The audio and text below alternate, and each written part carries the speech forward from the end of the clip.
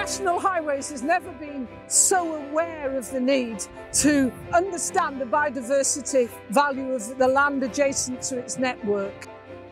The areas can vary from wild areas such as here in the Peak District National Park right through to motorways in the inner cities.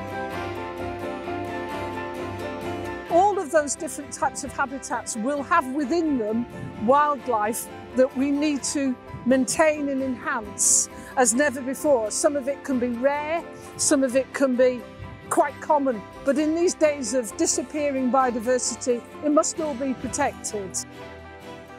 We need to, though, in order to make sure our investments in biodiversity projects are of good quality, we need to understand exactly what we have. And for that purpose, we need to map all the land, 4,300 miles of road.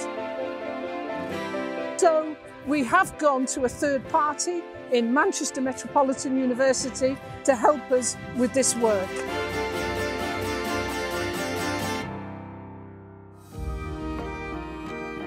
We're really excited at Manchester Metropolitan University to be working with National Highways on such an exciting innovative project where for the first time we're trying to produce a detailed map of the habitats that adjoin the strategic road network. To do that, we're bringing together data from more than 20 different sources, including land cover data, topographical data, digital elevation models and also Sentinel-2 satellite data to produce the first landscape scale detailed map of the habitats that adjoin the network. What's really novel about taking such a, a consistent and holistic approach is it lets National Highways make strategic decisions about where their interventions to improve habitat quality can have maximum impact for biodiversity along the network. We have national targets and we have indeed a responsibility as a business to make sure that we meet national, international objectives.